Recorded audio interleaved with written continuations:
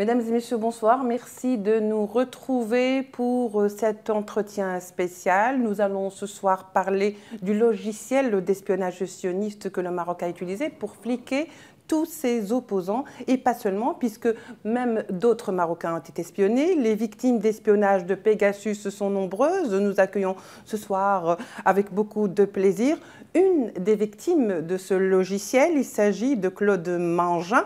Claude Mangin, qui est une grande militante pour la cause sahraoui. Elle est également l'épouse de Nerma Asfari, le détenu sahraoui dans les geôles marocaines depuis 2010. Ça fait exactement 13 ans qu'il est en prison. Euh, Madame Claude Mangin, merci d'avoir accepté notre invitation. Bonsoir et merci de m'avoir Je dois vous appeler aussi Claude Mangin Asfari, n'est-ce pas? Ben Oui, bien ben sûr. Voilà. Alors, euh, vous êtes ici en Algérie depuis le 1er mars. Vous avez eu l'occasion d'aller dans les camps des réfugiés de Tindouf, où vous avez également eu l'occasion de rencontrer d'autres militants sahraouis, d'autres ONG. Parlez-nous encore euh, de cette visite et qu'est-ce qu'il en est sorti? Eh bien, donc, euh, comme chaque année, j'essaye d'organiser une mission ou deux missions dans les campements de réfugiés pour permettre euh, aux militants français, aux journalistes si possible et aussi aux politiques de connaître la réalité euh, des campements des Sahraouis qui sont exilés à Tindouf depuis 48 ans. Comme je dis toujours, tant que vous ne serez pas venu à Tindouf, vous ne pourrez pas comprendre ce qui se passe là-bas parce que c'est une réalité hors imagination. Et donc chaque fois que les gens veulent bien venir, ils sont effectivement très très marqués par leur visite. Et j'ai encore eu les commentaires de nos voyageurs qui sont. Enfin, ils ne reviennent pas après comme ils sont partis avant. Donc nous, nous étions 52. J'étais très contente de, l'importance de cette mission française qui euh, est aussi un bon indicateur, euh, aussi pour, euh, et pour le Polisario et pour notre gouvernement français, de l'importance que prend les Sahraouis dans l'actualité. Et donc, euh, parmi ces 52, il y avait aussi euh, deux militants de la solidarité japonaise, deux militants de la solidarité suisse-allemande, un journaliste allemand du grand journal de gauche Junge Welt et euh, deux journalistes de Ouest France et un photojournaliste. Mhm. Et une journaliste de, du magazine mensuel Ivry Ma Ville. Et tous les autres, c'était des militants de différentes associations françaises, comme le MRAP, comme la CAT, comme euh, la CGT, comme les, jeunes, partis politiques, comme les, les, jeunesses communistes, comme le Parti communiste. Et, euh, et, puis enfin, il y avait 12 élus, et ça c'était le point fort de ma délégation. Justement, oui. 12 élus de trois communes communistes de France, deux de la région parisienne, Ivry-sur-Seine qui est ma ville, euh, ma mhm. ville dont Nama est le citoyen d'honneur, un des citoyens d'honneur avec d'autres grands Alors, noms. Alors c'est important de le signaler quand même. Comme Nelson Mandela, comme Margouti, comme euh, récemment Salah Amouri, et euh, Vitry-sur-Seine, et Rezé, Rezé qui est une ville de la Loire-Atlantique à côté de Nantes. Et ces trois communes sont parmi les 20 communes qui reçoivent des enfants sahraouis pendant l'été depuis longtemps. Oui. Et donc nous avions, euh, nous sommes, ils sont venus aussi pour euh, effectuer la signature du, mhm. du protocole d'accord et d'amitié, le nouveau nom donné au jumelage entre la ville de Ivry-sur-Seine et la daïra de Mégic à Oussert. Et euh, nous avions fait le premier round, si je puis dire, le 25 novembre à Paris, à Ivry-sur-Seine, avec le Wali d'Aoussert. Et là, c'était le maire, avec son conseil, une partie de son conseil municipal, en particulier la responsable des relations, l'adjointe aux relations internationales, qui allait pour faire la signature, la cérémonie de signature sur place avec Madame la maire de euh, oui, il y a également avec vous, donc euh, vous le disiez tout à l'heure, vous, vous êtes venu avec quand même une, accompagné d'une forte délégation, y compris, où se trouvait y compris donc le maire euh, d'Ivry, qui lui également était euh, l'une des victimes de Pegasus, parce qu'on va y revenir. Alors, est-ce que vous pouvez nous en dire un peu plus sur le maire d'Ivry? Comment cela s'est déroulé, justement, comment il s'est retrouvé dans cet engrenage Pegasus? Parce qu'après, on va parler de vous, bien sûr. Bien, disons que, disons que quand la journaliste euh, Madame Guéguen de Radio France est venue me voir pour me demander avec beaucoup de discrétion si je voulais bien donner mon téléphone. Donc c'était autour du 15 juin 2021, parce qu'on soupçonnait de mon téléphone d'être euh, infecté par, euh, par ce logiciel. Et c'était en fait notre avocat, Joseph Bréham, du cabinet Ancil, qui l'avait dirigé sur moi. Puisque lui, il était apparemment une, victime de, cette, de cet espionnage. Mhm. Et donc, effectivement, quand le, 18 juillet 2021, donc Forbidden Stories et Amnesty International ont sorti leur, le scandale, tout de suite après, j'ai été en possession de, donc de l'ensemble des, des connexions qui ont été euh, faites sur mon téléphone pendant ces neuf mois, c'est-à-dire que j'ai été connectée 120 fois, je crois. Et, euh, et donc j'ai croisé ces connexions avec mon agenda papier. Et donc la première, euh, la première connexion, c'était le 8 octobre ou, ou, le 9 octobre. Et quand je regarde mon agenda, je vois que je téléphonais à M. Bréham ce jour-là, puisque je marque tous mes rendez-vous sur mon mhm. agenda. Ça me permet de faire un rapport d'activité exhaustif. Et puis, vous voyez, là, ça m'a servi. Et après, j'ai vérifié toutes les fois où ils se sont connectés. C'était toutes les fois où il y avait des visioconférences. Parce qu'à l'époque, je préparais avec tout un collectif de juristes et d'avocats euh, des nouvelles plaintes auprès de mhm. l'ONU. Et comme euh, je faisais un compte-rendu euh, exhaustif et très précis pour, à l'issue de ces visioconférences euh, sur signal parce qu'on croyait que c'était euh, sûr. Oui, en fait, sécurisé. Euh, ils ont eu à leur disposition toute la matière pour nous surveiller et ça a quand même abouti au tabassage en règle le 9 mai 2021 de Hassana Abba, un des membres de la Ligue de protection des prisonniers politiques sahraouis de l'Ayoun. Il a été enlevé devant son domicile ce matin-là euh, par les forces de sécurité. Voilà, c'était à cause de cet espionnage. Ah ben, on l'a lu après. on, ne le savait pas. Mais en tout cas, on l'a relu comme ça, parce que à cette époque-là, on était très surveillés. Mhm. Et donc, il a été tabassé, enlevé en voiture par les forces de sécurité en civil. Voilà, donc euh, on a dénoncé à cette époque-là, euh, les membres du collectif, la FIDH, Amnesty ont dénoncé ce tabassage, mais à l'époque on ne savait pas comment ils avaient su euh, que cette personne, bien qu'il était très ciblé de toute façon. En tout cas, on a mis le lien. Et puis, il y a eu d'autres événements dans ma vie qui ont été... Euh, euh, qui se sont expliqués comme ça, parce que comment le Maroc pouvait savoir en si peu de temps ce que je faisais de manière aussi précise. Et c'est là qu'il y a eu tout l'événement au conseil municipal d'Ivry qui s'est passé le 30 juin 2021 et où, monsieur, où donc on présentait à ce conseil municipal un vœu pour donner 6 000 euros pour, pour l'accueil des enfants, c'est-à-dire c'était une année où Covid, donc les enfants n'étaient pas accueillis. Donc euh, les 6 000 euros qu'ils consacrent d'habitude à cet accueil des enfants, j'ai demandé qu'elles puissent être données pour euh, l'enseignement, euh, soutenir l'enseignement du français dans les camps. Voilà. Et c'est là que Madame Rachida Kaout, marocaine, qui fait partie du conseil municipal dans l'opposition euh, aux communistes, puisque c'est les, les, communistes qui, qui sont majoritaires. Euh, et mm. donc, Mme Kaout, pour le parti de M. Macron, a commencé à invectiver de manière euh, incroyable dans un conseil municipal pour dénoncer les enfants soldats. Enfin, vous connaissez la, la logorée habituelle. Mm-hmm. Mais surtout, il y a eu un pseudo-journaliste marocain qui s'est introduit donc, dans cette enceinte qui est libre d'accès, mais inviolable et sacrée où tout le monde peut venir, mais en se, comportant correctement. Et lui, il a commencé à filmer tout, alors qu'on ne le connaissait pas. Et euh, donc, donc, monsieur le maire, après avoir euh, répondu ce qu'il fallait à madame Kaout, puisque, par exemple, juste avant, le vœu, c'était pour donner de l'argent pour l'été aux Palestiniens, et là, mhm. elle n'était pas intervenue. Oui, mais pour les Sahraouis. Mais pour les Sahraouis, elle a, dit, entre autres, que c'était de l'argent euh, qui n'était pas aux petits Sahraouis. Alors, l'argent qui va aux Palestiniens, c'est pas pareil. Et donc, euh, le, conseil municipal a dû se terminer à huis clos, ce qui n'était jamais arrivé, et monsieur le maire a dû être accompagné chez lui sous la protection de la force publique. Mm. Donc vous voyez jusqu'où le Maroc est souverain en France, puisqu'il a, réussi à faire ça. Parce qu'ils ont aussi des Parce qu'il se croit tout permis, il peut mm. tout faire. Je pourrais vous donner d'autres exemples que j'ai subis moi-même. Donc voilà, et c'est là qu'on a vu que monsieur, euh, monsieur Bouissou était donc sous surveillance NSO par mon téléphone et monsieur Oubi Bouchraya, le représentant du Fonds Polisario de l'époque en France. Et donc on a tous porté plainte devant, euh, les autorités, devant la justice française, euh, donc, euh, avec Rosa Moussaoui, qui fait partie du même journaliste à l'humanité. Mhm. Et donc, on a tous été convoqués à l'ANSI, l'Agence nationale de surveillance des, des, opérations numériques. Et donc, tous nos téléphones ont été investigués par les, enquêtes, par les enquêteurs de l'ANSI. Et nous avons aussi fait une déposition de ce qui nous était arrivé.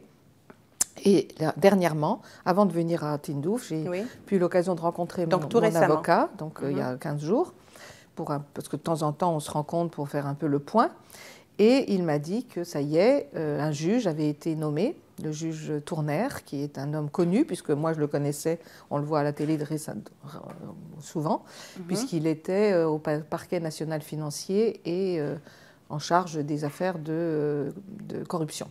Donc je pense que c'est la bonne personne. Vous pensez que c'est sur la bonne voie que vous et on a choisi y a une chance d'obtenir gain de cause? En tout cas, euh, ça va prendre du temps. Hein. La justice a peu de moyens et, que ça c'est une affaire énorme puisque c'est des centaines voire des milliers de Français qui ont été surveillés. Donc ça veut dire que ça prend beaucoup de temps, qu'ils n'ont pas plus de moyens pour autant.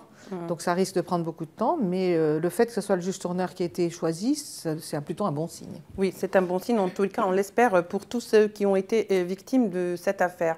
Alors, à quel moment, euh, Claude Mangin, vous vous êtes rendu compte que vous étiez sous écoute? Qui, a, au fait, vous a mis la puce à l'oreille?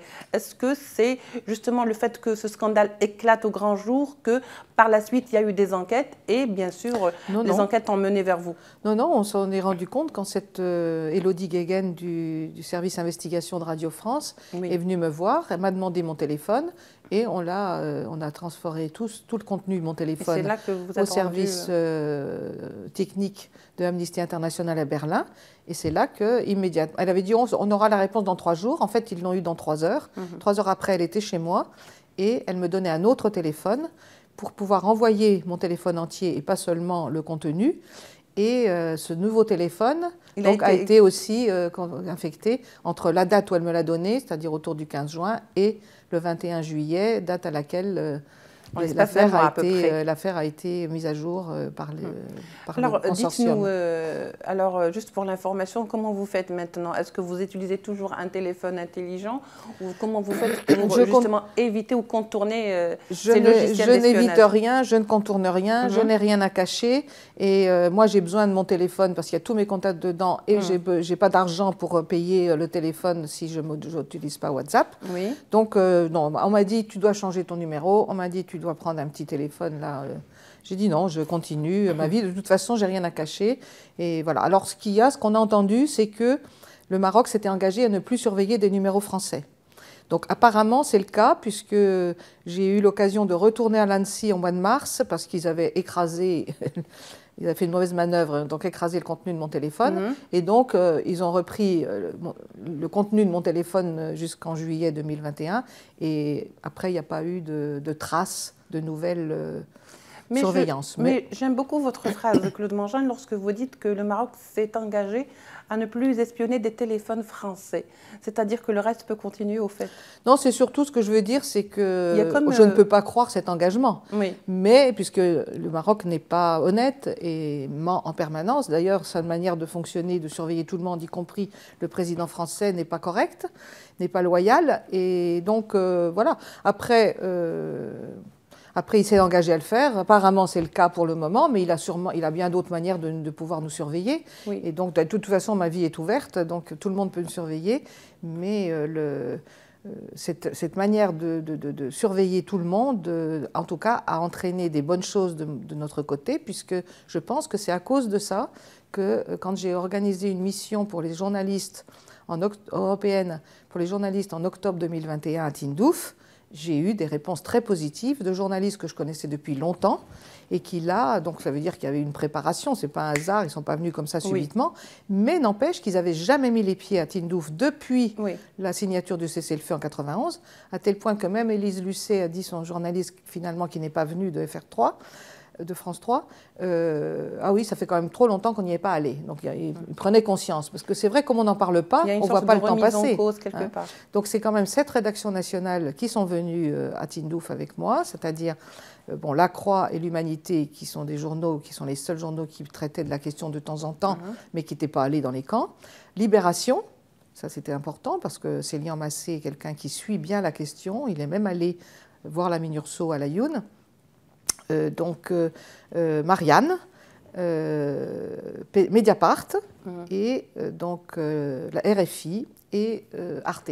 Donc c'était sept rédactions nationales et ils ont tous sorti au moins deux papiers ou deux reportages et tous ont travaillé de manière très honnête mhm. et on n'a eu rien une à dire sur leur reportage, ni papier, ni, ni voilà, par exemple les cinq minutes qui sont passées à Arte qui nous donnent jamais la parole pourtant ils traitent de toutes les questions, mais sauf de la nôtre. C'était cinq minutes le vendredi où il, passe toujours un reportage un petit peu long était tout à fait remarquable. Monsieur Flavien Charuel a fait le travail. Très bien. Donc ça veut dire qu'il y a eu quand même un revirement de situation, euh, euh, que finalement euh, il y a eu un revers de la médaille. L'affaire Pegasus s'est retournée contre, le Maroc. contre le Maroc, mais qui a été très bénéfique également pour la cause sahraoui, pour le Polisario, le Front Polisario et pour les Sahraouis. Absolument. Un peu comme ce qui se passe actuellement. Donc c'est vrai que bon, les journalistes ont voulu aller dans les camps parce que la guerre avait repris. Et donc les journalistes veulent toujours voir le terrain, mais enfin jusqu'à présent, bon, ils n'étaient pas venus, il faut dire qu'il y avait eu le Covid. Enfin en tout cas, ça c'était l'occasion. Et je pense que la, surveillance Pegasus a été euh, pour eux, comme quand même ils ont été attaqués. Hein, il y a eu le Maroc a essayé de porter plainte contre eux. Oui, oui, et ça, ils n'ont pas trop aimé, les journalistes. Évidemment, c'est de la justice Bayon, euh, ça ne, c'était jugé irrecevable, mais ils ont recommencé. ils, ont, ils ont porté, euh, ils ont fait appel. Non, c'est parce que comme ça, on leur donne la parole en France et ils, sont, ils apparaissent toujours comme des victimes. Mon seul cas, moi, sur des milliers de personnes, montre que c'est bien le Maroc, parce que qui d'autre que le Maroc aurait intérêt à me surveiller? Moi, une petite prof de la région parisienne, hum. inconnue de tout le monde, sauf que je suis mariée à Nama Asfari, un prisonnier de Gdémizik. Donc c'est clair que c'est pour ça que je suis surveillée et que tout Pegasus et le Maroguet, c'est aussi pour bloquer toute nouvelle qui puisse sortir sur Sahara occidental. Oui. Alors, euh, on va faire un petit quand même euh, euh, retour en arrière pour revenir sur votre parcours depuis que votre mari est en prison, qu'il est en détention. dans les Jeux marocaines, ça fait quand même 13 ans, on le disait au début, depuis l'affaire de Gdeimizik, il faut le rappeler, c'était des campements sahraouis, et qui, au fait, a été détenu avec plusieurs de ses compagnons, c'est-à-dire des militants sahraouis. Depuis, il y a eu un procès, un deuxième procès, un troisième procès, qualifié d'ailleurs par les médias par des parodies de procès, parce que je pense qu'à l'époque, ils étaient, eux qui étaient des civils, euh, jugés par un tribunal militaire. Euh, c'est déjà un vice de forme. Et je pense que depuis, vous avez été interdit euh, d'abord euh, d'accéder au territoire marocain, mais vous avez également été interdit de voir votre mari, donc vous n'êtes plus en contact avec lui que par le téléphone. Dites-nous comment, euh, depuis, vous tenez le coup et comment vous faites justement pour que Nerma Asfari ne soit pas oublié, lui et ses compagnons en détention. Bah, vous voyez, si je suis là aujourd'hui, c'est qu'ils ne sont pas oubliés, puisque effectivement ben, malheureusement pour le Maroc, euh, en tant qu'étrangère, euh, épouse de Namas Fari, ben, ils sont tombés sur un os. Donc euh, c'est vrai que je n'arrête pas de porter haut et fort la parole de Nama, mais aussi de tous ses compagnons, mais aussi de tout le peuple sahraoui. Et je continuerai jusqu'à l'indépendance du Sahara occidental. Pour moi, tout est lié, et pour eux aussi. Mmh. Pour le Maroc, tout est lié. Si je n'ai pas le droit d'aller euh, au Maroc, c'est pas parce que euh, c'est pas pour autre chose que nous sommes un couple symbole de toute la cause sahraoui. Et donc, si j'ai pas le droit d'y aller, c'est pas uniquement, euh, enfin, je veux dire, si on m'empêche d'y aller, c'est pas uniquement parce qu'on veut pas appliquer le droit familial qui est le droit marocain. Mhm. dans les tribunaux marocains, ils se vantent de ne pas utiliser le droit international qui pourtant est supérieur au droit national. Mais là, c'est un droit familial de regroupement euh, de, famille, d'une épouse d'aller voir son mari. Toutes les Françaises mariées à des Marocains peuvent y aller, sauf moi.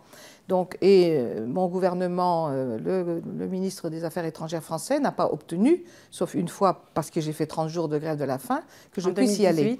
En 2018, j'ai pu y aller en janvier 2019. Donc, je l'ai vu une fois en sept ans et je ne l'ai pas vu depuis quatre ans. Donc pourquoi? Bah, Parce que justement, je ne suis pas seulement une épouse euh, comme ça, lambda, d'un prisonnier lambda. voilà, mais je suis euh, effectivement là pour parler du Sahara occidental. Et comme vous le savez, euh, au Maroc, il y a trois sujets tabous, le roi, le Sahara et la religion. Et si on parle d'un de ces trois sujets, on se retrouve en prison. Donc moi, je, on ne m'a pas encore mis en prison. D'ailleurs, Claude, on dit de vous que vous êtes la femme qui a défié le roi. Absolument, c'était le beau titre du journal La Vie en 2013. Euh, et donc ça continue parce que mais pourquoi je défie le roi? Parce que il y a eu que des musiques mm. et que des musiques c'est pendant un mois de défi de la monarchie marocaine mm. puisque euh, le, pendant un mois les familles se sont retrouvées à la manière bédouine nomades de l'époque. Il y a eu 8000 tentes, cette magnifique tente traditionnelle qu'on appelle la Raïma, qui est le symbole de la résistance sahraoui. D'ailleurs, c'est les Marocains qui en ont fait un symbole de résistance, parce que depuis, personne, aucun Sahraoui n'a le droit de monter sa tente en vacances dans la Badia ou au bord de la mer. Donc, du coup, ils le mettent sur leur, euh, sur leur terrasse. Euh, comme signe de protestation et d'identité. Et donc, euh, ce, magnifique rassemblement de résistance, c'est à la fois le premier et le dernier mouvement de résistance d'ampleur dans les territoires occupés, euh, a été effectivement démantelé par la force, alors que c'était un rassemblement pacifique un lundi matin, alors que le ministre de l'Intérieur s'était engagé à répondre aux revendications des, des membres du comité de négociation euh, de Gdémisic qu'il avait rencontré deux fois, il l'a pris au sérieux quand même, et donc euh, parce que leurs revendications étaient bien sûr euh, euh, de, se plaindre des discriminations dont ils sont l'objet, alors qu'on dit partout que ce sont des Marocains. Si c'était des Marocains, pourquoi ils sont discriminés? Pourquoi on ne leur donne pas de travail? Pourquoi on ne leur donne pas de logement? Et pourquoi on les discrimine dans les écoles? Donc c'est que ce n'est pas tout à fait des Marocains. Donc euh, voilà, eh bien ça c'était le vendredi soir, ils avaient réussi à se mettre d'accord. Et le lundi matin, les forces de sécurité, toutes forces confondues, avec des hélicoptères, des canons à eau, euh, des, soldats euh, tous les moyens de comme des robots, euh, ont, utilisé tous les moyens contre des gens pacifiques avec femmes et enfants. On a toutes les images, vous pouvez les voir dans ce film. Et, ils l'ont fait en plus à 5 heures du matin, de nuit, alors qu'ils pouvaient très bien apporter des bus qui emmènent tout le monde gentiment, de manière pacifique. Voilà, parce que c'est à 10 km, et ils n'ont pas choisi cette méthode. Donc c'est bien un crime de guerre de toute façon selon les conventions de Genève.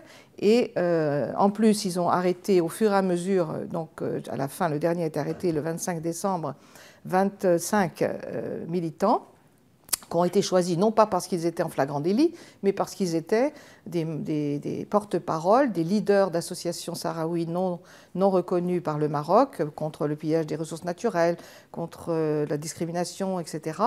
Et aussi, il y avait un journaliste comme Mohamed Laminadi qui a fait 69 jours de grève de la faim l'année dernière.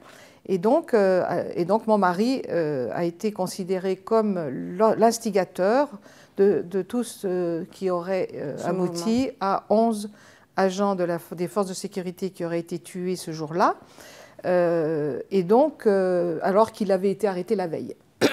donc il était déjà dans les mains de la DST euh, le, dimanche soir, et moi je sais exactement quand est-ce qu'il a été arrêté, puisqu'il m'avait téléphoné donc vers 8 h et à 8 h 15 il n'était plus joignable. Il était venu à la Youn parce que à il n'y avait pas de contact avec l'extérieur, tout était brouillé. Et il, était venu à, à Laayoune pour organiser l'arrivée du député français Jean-Paul Lecoq, avec une amie euh, guide de France qui l'accompagnait pour ne pas être tout seul. Et l'amie guide de France est bien arrivée à Laayoune, où elle a été parquée dans un, où elle est restée dans l'hôtel parce que c'était, elle a pu être assistée justement à tous les. On lui a dit surtout ne bouge pas parce qu'il y avait des manifestations partout, des émeutes partout sur la. On n'en a pas beaucoup parlé d'ailleurs qu'il y avait ces émeutes parce que là euh, ils ont lancé des. Oui, les médias français n'en ont pas parlé, mais les médias algériens. Et, même euh, le journal tel quel marocain qui a été arrêté, qui a été euh, interdit depuis, mm. a fait un très bon reportage. Et donc, aucune média, aucun média n'a pu y aller, même pas les médias espagnols considérés comme euh, bon. Euh. par contre, Le Monde a pu y aller trois jours après, parce que c'est moi qui l'ai organisé, et elle a fait un article lamentable en première page du Monde. Euh, bon, elle a été emmenée et on lui a montré ce qu'on a voulu, et c'était un très mauvais article, et d'autres l'ont reconnu. Mm. Et en tout cas, donc Jean-Paul Lecoq a été bloqué à Casablanca toute une nuit sous un escalier, traité comme un paria. Et quand il est arrivé à mardi matin devant l'Assemblée nationale à la session de questions au gouvernement, en tout cas, il a dit Mais qu'avait donc le Maroc à cacher pour m'avoir bloqué à Casablanca? Et donc, évidemment, il avait à cacher cet assaut du lundi matin. Et donc, euh, M. Kouchner a répondu, la phrase texto, on le voit aussi dans le film, puisque c'est, on a l'enregistrement de l'Assemblée nationale, il a dit Mais euh, c'est tout à fait inadmissible qu'un élu de la République française ait été expulsé par un pays ami, dont on, de surcroît, dont on admirait jusque-là son chemin vers la démocratie. Donc il a eu une phrase un petit peu courageuse, mais on a compris qu'après, puisqu'il avait démissionné la veille, qu'il n'avait plus rien à perdre. Oui, absolument. Parce que les ministres suivants, j'en ai usé pas mal, ils n'ont mm. jamais rien réussi à faire pour faire libérer les prisonniers de alors qu'il est clair qu'ils sont tous des prisonniers politiques et que la France, membre du Conseil de sécurité, n'obtient pas... Euh, n'obtient pas de euh, faire appliquer le droit et la légalité internationale, parce que maintenant on en est quand même à quatre prisonniers politiques de condamnés qui ont, dont on a fait obtenu la condamnation contre le Maroc pour torture. Et donc, euh, comme ils ont été condamnés, comme le Maroc a été condamné par euh, le comité contre la torture pour faire torture sur mon mari et ses compagnons, eh bien, ils devraient être libérés. Oui. ils sont toujours là. Euh, en 2018, vous avez entamé quand même une grève de la faim qui a duré un mois, 30 jours, et que euh, vous avez interrompu cette grève de la faim parce que vous aviez obtenu des promesses qui seraient effectivement négociées avec le roi pour que vous puissiez obtenir le droit de visite de votre mari. Mais depuis, rien n'a été fait. Vous êtes toujours en attente. Alors dites-nous, euh, Claude. Pas tout à fait, rien n'a été fait, mais je ne pense pas que c'est grâce, au, hélas, au gouvernement parce que, tout simplement, ils m'ont. Donc, la grève a eu lieu au mois de, de avril novembre, au mois d'avril, avril-mai 2018. Et au mois de novembre, effectivement, euh, le directeur Maghreb de l'époque, qui a suivi Maghreb de la Faim avec beaucoup d'intérêt et d'empathie, euh, m'a invité à venir au Quai d'Orsay pour euh, me donner des nouvelles. Et moi, dans ma grande naïveté, ce qui me sauve d'ailleurs, je suis naïve, donc je continue de, faire les choses. Et donc, ils étaient avec son, son rédacteur, il m'a il il annoncé qu'il n'avait pas obtenu de de l'ambassadeur euh, du Maroc en France et donc du ministère de l'Intérieur marocain ma visite. J'étais effectivement très très en colère de voir que ce n'était pas possible. Mhm. Et en fait, si j'ai pu y retourner, alors ils m'ont quand même téléphoné le 26 décembre, j'étais chez mes parents pour les vacances de Noël et mes parents en ont pleuré pour m'annoncer que j'étais euh, effectivement euh, pouvais y aller en début janvier et que j'avais qu'à m'adresser au Conseil national des droits de l'homme. Ça se passerait sous leur égide. J'imagine votre donc, euh, voilà. Donc ce que j'ai fait effectivement, et donc j'ai pu y aller. Mais mon interprétation, c'est que c'est pas la France qui l'a obtenu, c'est qu'en fait c'était entre les deux tables rondes qu'avait obtenu M. Kohler de mettre autour de la même table le Polisario et le, et le, roi du Maroc. Euh, avec les pays euh, amis tels que l'Algérie, la Mauritanie. Et donc, euh, il y avait eu une première table ronde en décembre à Genève et une autre en mars 2019 toujours à Genève. Et donc le Polisario avait exigé, pour que ces tables rondes puissent avoir lieu, que la question des prisonniers politiques sahraouis soit mmh. sur la table. Donc je pense que c'est dans cette conjoncture-là que le Maroc a bien voulu faire un geste et m'a laissé rentrer. Ça s'est très mal passé d'ailleurs. La visite s'est bien passée dans la prison. J'ai le directeur et tout le monde a été très bien. J'ai pu laisser mes livres. Mais après, euh, j'ai été suivi et traité comme euh, le dernier des, des parias. Ils m'ont dénoncé auprès du gouvernement français. Et donc, j'ai bien vu que, ça avait pas été, que la situation n'était pas normalisée. Et donc, j'ai réessayé d'y retourner en juillet 2019. Et effectivement, j'ai été expulsée à nouveau pour la cinquième fois. Et depuis, je n'ai pas réessayé parce que je ne veux pas subir ce stress. Euh, et puis que quand j'arrive, de toute façon, tout se fait à huis clos et donc personne ne sait ce que je subis, donc c'est pas la peine. Mm. Et donc j'attends que euh, quelque chose, et de mon point de vue, je ne pourrais retourner le voir que s'il y a des négociations globales qui sont faites pour l'ensemble de la cause sahraoui, pas seulement pour mon droit de visite. Bon, si on me laisse y aller pour mon droit de visite, je ne refuserai pas, parce que ce qui est grave aussi, et j'aime bien le préciser, que je ne, depuis sept ans, je n'ai pas vu mes neveux et nièces grandir. Nous n'avons pas d'enfants, donc les neveux et nièces, c'est comme nos enfants. Eh bien, la dernière, qui a maintenant sept ans, elle avait un an la dernière fois que je l'ai vue. Et ça, c'est des années perdues. Je ne aurais jamais vu grandir. Voilà, Ça, ça, vous manque. C'est un déchirement quelque part. Euh, Claude Mangin, parlez-nous un peu de Narma Asfali. Comment va-t-il? Alors j'ai la chance d'avoir un mari qui est très résilient, comme on dit maintenant, c'est-à-dire que c'est un philosophe et qu'il a pris pour son compte la philosophie des stoïciens. Et c'est le manuel d'Épictète qui est son livre de chevet qui dit que ce que, ce que vous ne pouvez pas changer, euh, vous n'essayez pas de le changer et vous ne faites que ce que vous pouvez changer, ce qui, a, ce qui vous, comment dire, ce qui, ce qui est de votre pouvoir, ce qui mm. n'est pas de votre pouvoir, laissez tomber. Donc, bah, finalement, c'est lui qui me, à chacun de mes coups de fil, quand je suis trop énervée ou je suis trop fatiguée ou trop, c'est lui qui m'encourage en me disant écoute, rappelle-toi le manuel d'Épictète, tu fais tout ce que tu peux, ce, que tu, ce qui n'est pas de ton ressort, ne le fais pas. Alors, euh, euh, votre euh, séjour en Algérie, on peut dire que vous n'êtes pas venu les mains vides, puisque vous êtes accompagné de ce petit film, un extrait d'ailleurs qui a été projeté euh, depuis 2017. Il a été projeté, ce n'est pas la première fois, 2016. Et Dis-leur que j'existe, une histoire sahraoui. Alors c'est un titre qui est très émouvant, Dis-leur que j'existe.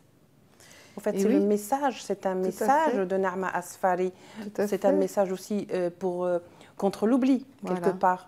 Parce qu'en fait, euh, comme vous le savez, l'objectif des colonisateurs, c'est d'invisibiliser le peuple colonisé puis de dire qu'il n'y a pas il y a personne sur le territoire qu'ils ont envahi et donc ils peuvent prendre la place. Hein. Ça a été fait dans tout, toute l'histoire de la colonisation. Ça a été fait euh, par euh, les sionistes euh, en Palestine.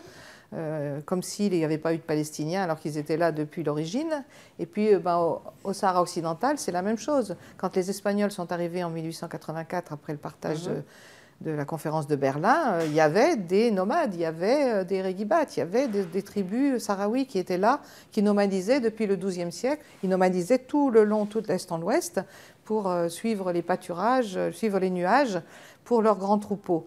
Et effectivement, c'est la colonisation française qui a mis des frontières nord-sud pour, qui n'ont aucun sens pour des nomades qui, eux, mhm. n'ont pas de, pas de, pas de frontières. Selon le droit international, donc, tous les pays qui ont été colonisés et qui ont des frontières euh, auraient dû euh, avoir leur indépendance. Et c'est le dernier pays d'Afrique qui n'a pas encore obtenu son indépendance parce que le Maroc, ancienne colonie française, s'est fait un nouveau colonialisme en occupant le Sahara euh, espagnol, le Rio de Oro, de manière totalement illégale et en faisant des crimes de guerre en masse, puisqu'ils ont envoyé leurs avions marocains soutenus par les avions français pour euh, bombarder avec des bombes en napalm et des bombes au phosphore une population civile d'hommes et d'enfants qui fuyaient et qui n'a pu fuir que du côté euh, euh, algérien. Voilà, et donc c'est les Algériens, grâce à Dieu, enfin le Polisario et les Algériens qui les ont recueillis et ils sont installés là-bas depuis donc 48 ans. Mhm. Alors, euh, Claude Mangin, comment vous est venue l'idée, ou comment est venue l'idée, de manière générale, de faire un film euh, pour ou contre l'oubli de Nerma Asfari, sur Nerma Asfari, et sur les détenus également? En fait, euh, bon, j'ai eu la chance, tout, tout, se fait, comme avec vous d'ailleurs, un peu au hasard des rencontres, c'est peut-être Mektoub, comme on dit des fois, le destin. en tout cas, une des fêtes, tous les ans à Ivry, le troisième week-end de du mois de juin, il y a ce qu'on appelle la fête d'Ivry, qui uh-huh. réunit les centaines d'associations que compte cette ville uh-huh. euh, pour une rencontre festive de toutes les populations euh, qui habitent Ivry, qui est une ville communiste multiculturelle. Et euh, donc, en 2009, comment dire, deux amis qui s'appellent Lise Tréglose et Tony Jean. Lise Tréglose, qui est une militante de de l'international euh, qui travaillait avec moi, et puis Tony Jean, un photographe, un photoreporter qui a déjà eu plein de prix. Ils ont décidé de descendre en voiture, enfin en, camionnette, euh, au festival, au FSM, c'est-à-dire au Forum social mondial de Dakar. Et qu'en descendant, ils s'arrêtaient en Espagne, au Maroc, et au, au, Mauritanie et au Sénégal pour parler, pour populariser ce forum social qui est en fait un lieu de rencontre des sociétés civiles. Et au Maroc, ça s'est pas très bien passé parce que euh, ils ont été repérés et les amis qui les avaient euh, ont été inquiétés, donc ils ne sont pas restés trop longtemps. Et le hasard a fait qu'ils sont tombés sur le rassemblement de Gdémizi, qui n'était pas du tout prévu, que le Polisario n'avait pas vu venir, le ministère de l'Intérieur non plus, et puisqu'ils ont quand même réussi à rester un mois. Donc, euh, bah, donc c'est comme ça qu'on a les photos de Tony Jean, le, les tournages de Tony Jean et aussi d'un Mexicain qui, était là avec une Espagnole, Isabelle, il s'appelait Antonio Isabelle. Donc on a toutes les images et du campement, de, de ce que Nama raconte, de pourquoi ce rassemblement et qu'est-ce qu'ils y font et comment ils s'organisent, et aussi euh, le démantèlement qui, est en image il y a 15 minutes à peu près sur des musiques et vous pouvez encore trouver ça sur YouTube. En fait, ils ont un petit peu euh, ils ont eu un petit peu la chance de tomber au bon moment, au bon endroit. Et en plus, euh, c'était un moment où on organisait la conférence européenne de soutien au peuple sahraoui en France, au Mans. Chaque année, il y a ce qu'on appelle le COCO qui se réunit quelque part en Europe et où vient toute la solidarité mondiale, y compris évidemment la société civile et les, diplomates algériens. Et euh, ben, c'était fin octobre, et donc euh, m'a envoyé des images que j'ai pu passer devant l'assemblée de 400 personnes que réunit le COCO. Euh, on en avait entendu parler, mais on ne savait pas trop ce qui s'y passait, puisqu'on ne savait pas grand-chose. Le Polisario, c'est là que je me suis rendu compte, était très inquiet. Moi, j'étais très fière, évidemment, de mon mmh. coup, et eux aussi, de pouvoir montrer dans une assemblée de 400 personnes ce qui se passait réellement avec des musiques, avec euh, un témoignage de Nama. Et euh, le Polisario était très inquiet parce qu'il disait ça va très mal finir. Et effectivement, quelques jours après, c'était le démantèlement par la force. Donc euh, tout ça, vous savez, personne ne l'a su finalement, alors qu'on avait toutes les images. Et si vous allez sur YouTube maintenant, le film n'est pas encore sur YouTube, mais si vous tapé Namasfari euh, Agnémisic, vous avez son témoignage. Il y a quand même des extraits, oui, effectivement. Et, ces extraits, ils, ils, sont été repris par France 3 et ils sont dans le, dans le film.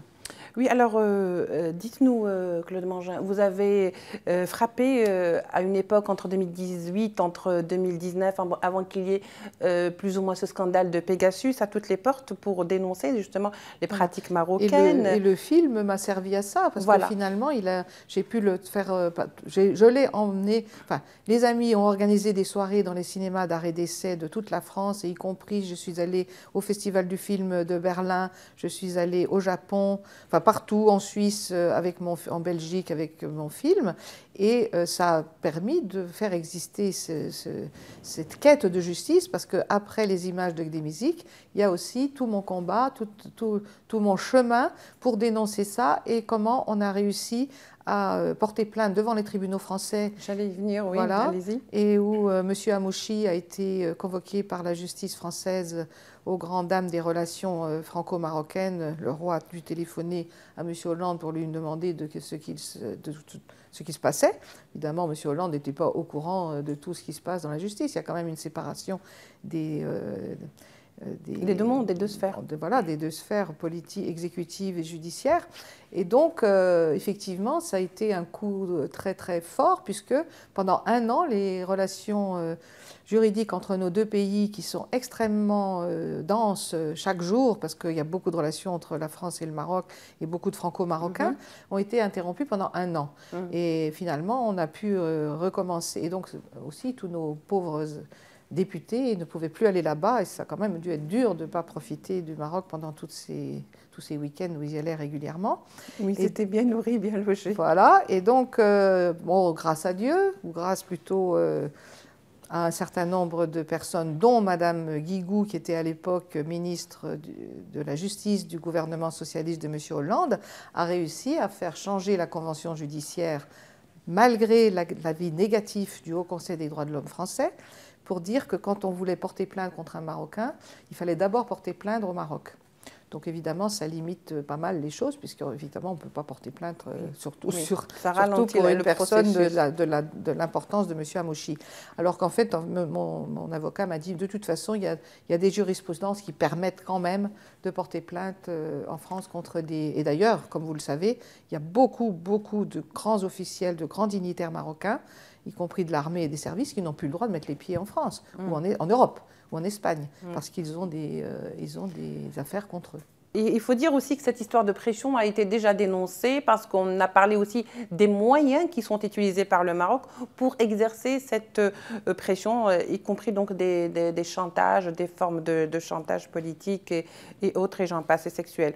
Au fait, pourquoi est-ce que le nom de Claude Mangin n'est pas le bienvenu au Maroc? Est-ce que parce qu'on s'attendait à une épouse bien rangée euh, qui attend son mari, qui sort de prison, et on se retrouve avec une militante plus acharnée qui, au fait, euh, la cause sahraoui n'a jamais été, aussi médiatisée que par vous. Vous avez vraiment porté la voix du Sahara occidental euh, en France. Est-ce que vous faites si peur aujourd'hui aux Marzen? Oh Oui, je pense qu'effectivement, à moi toute seule, euh, je fais peur aux Marzen. La preuve, on ne veut pas me laisser aller. Je me souviens toujours que le directeur, sous-directeur Maghreb avait dit, vous savez, je leur ai dit, mais laissez-la passer, elle nous fera moins d'ennuis. Mais seulement le, le Marzen et, les, pays colonialistes ne, raisonnent pas de manière rationnelle. Mhm. Hein. C'est effectivement leur intérêt, ce serait de me, de me laisser tranquille pour que j'arrête mon combat. Mais des colonialistes, ils sont là pour faire disparaître un peuple. Et donc, euh, en mettant en prison Nama et ses compagnons, ils pensaient faire disparaître toute euh, l'épopée de Gdémizik. Et c'est exactement le contraire qui s'est passé, puisque les deux procès euh, ont, accueilli de nombreux observateurs qui ont dénoncé ce qui s'est passé. Le deuxième, deuxième procès où on avait envoyé des, des plaideurs, des avocats pour plaider cette fois le droit international humanitaire parce qu'on s'était mis d'accord avec les, avocats sahraouis qui ont fait 16 ans de disparition et qui nous ont dit nous, on ne peut pas le plaider, sinon on ferme nos, nos, cabinets d'avocats. Donc c'est pour ça qu'on y est allé, non pas pour cautionner cette mascarade de procès, mais bien pour porter une nouvelle parole. Et grâce à nos avocats français, nous avons pu prononcer le mot torture, le mot territoire occupé, le mot occupation, le mot crime de guerre, le mot prisonnier de guerre et le mot euh, que les prisonniers politiques sahraouis auraient dû être jugés en territoire occupé et selon le droit coutumier euh, sahraoui, selon le droit international humanitaire des conventions de Genève qui ont été signées à la fois par le Maroc mhm. et par le Polisario. Et tout ça, ça a été dit dans un tribunal militaire, euh, dans le tribunal d'appel de la cour de Rabat Salé, aux grandes dames du, du président fou furieux en disant ici, regardez le drapeau, vous êtes au Maroc, vous n'êtes pas devant la tribune de l'ONU. Mais ça a été dit, et depuis, on ne fait que parler de territoire occupé et de puissance occupante, alors qu'avant, on utilisait les mots du dominateur, c'est-à-dire Maroc, puissance administrante de qui n'a aucune valeur juridique, mmh. puisque la vraie puissance administrante, non, puissance administrante de facto, qui n'a aucune valeur euh, juridique, alors que c'est le mot puissance administrante de qui est toujours l'Espagne. Et que l'Espagne n'a pas fait son travail depuis, les, depuis toujours. Surtout avec Et là, en plus, trahi X fois. Du gouvernement Donc, euh, voilà, et ce n'est pas du tout le Maroc qui est la puissance administrante. La, la puissance, c'est la puissance occupante, point barre, selon le droit international. Euh, vous tenez quand même euh, le coup. je vois chez vous beaucoup de détermination. D'où vous vient cette détermination? Comment vous faites aujourd'hui pour tenir aussi bon? Et surtout, vous n'êtes pas fatigué? C'est ma foi qui me porte. Et puis on a chez nous une, formule qui dit que euh, je dis qu'on a la grâce d'État, c'est-à-dire une grâce euh, supérieure. Et je pense que vraiment j'ai cette grâce d'État quelque part parce que effectivement depuis tant d'années que je lutte, euh, j'aurais pu être fatiguée, mais bon. Moi, je dis que c'est le combat de ma vie, le plus beau des combats, puisque c'est pour la justice et la vérité, pas seulement pour mon mari, et que, ben, grâce à Dieu, j'ai la santé et que je continuerai la lutte. Et pas seulement pour mon mari, mais pour tout le peuple sahraoui. Et je continuerai de porter haut et fort cette parole pour que le Conseil de sécurité fasse son travail et fasse, entame enfin des négociations globales pour qu'ils euh, puissent retourner dans leur État, leur pays, selon le droit international, selon la Charte des Nations Unies, et que les prisonniers retrouvent leur famille avant qu'il soit trop tard. Parce que la situation des prisonniers est catastrophique. Il y a trois jeunes euh, étudiants sahraouis qui ont commencé une grève de la faim à la prison de Haït-Meloul dans la banlieue d'Agadir alors qu'ils sont en prison depuis sept ans déjà. Ils l'ont commencé le 20 février, on en est au 20e jour. Et là, euh, je crains que ce soit des vieillards quand ils sortiront, comme euh, l'est par exemple Yahya El Hafed, qui est sorti le 1er mars après avoir purgé ses 15 ans de prison euh, alors qu'il avait été arrêté à Tantan en 2008. On a une photo de lui en 2008. On a vu les photos pendant sa cérémonie d'accueil. Euh, c'est plus le même, c'est clair. Et je crains que ce soit la même chose, puisque le, le, frère, le frère, de Mohamed Lamine a dit qu'il a fait une grève. des séquelles euh, des tortures. sur le plan moral, ah ben, sur le plan physique. ils sont en permanence sous torture psychique. C'est clair, ce sont des gens détruits psychiquement parce qu'ils n'ont pas eu de soins suite aux tortures et puis parce qu'ils n'ont aucun soin de toutes les maladies chroniques qu'ils ont, qu'ils ont c'est-à-dire les problèmes cardiaques, les problèmes de diabète, les problèmes d'hypertension. Ils, n'ont pas rien de pour contact avec leur famille non plus. Et puis ils ne voient pas leur famille puisque euh, depuis le deuxième procès, ils n'ont droit qu'à 15 minutes par semaine. Ça veut dire qu'ils ne voient pas euh, leurs parents, leurs euh, enfants. Au fait, on veut quelque part les casser Absolument. En m'attaquant, c'est ce qu'il voulait, en tout cas pour Nama. Et hum. grâce à Dieu, Nama est quelqu'un de fort. Pourquoi il est fort? Parce qu'il fait partie d'une grande famille de résistants. Son père a fait 16 ans de disparition. Sa mère a, a fait toutes les ambassades à Rabat à l'époque pour le retrouver. Elle est finalement morte d'un cancer quand Nama avait 13 ans.